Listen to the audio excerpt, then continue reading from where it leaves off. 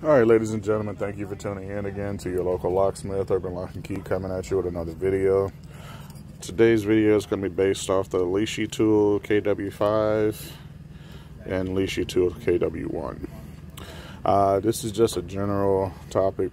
Um, I know a lot of people realize that the KW1 is for the 5-pin keyways and the KW5 is for the 6-pin keyway cylinders just make sure uh, when you go to a residence, as I'm on actual location of a residential lockout as we speak, um, one thing I want to let you guys know, the KW1 will fit the KW1 and KW5 cylinders as such.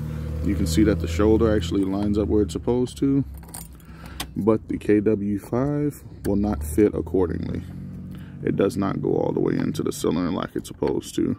So if you guys are trying to bypass having to buy the KW1 Lishi tool and you're trying to use the KW5 as a replacement or alternative because you just want to purchase the one, it will not work in that manner, okay? If this video was helpful, please like and subscribe to the channel. Like always, I'll leave my email in the comments below just make sure you guys, if you have any comments or any questions, go ahead and leave them in the comments below as well. Thank you for tuning in. Check out more videos as they come.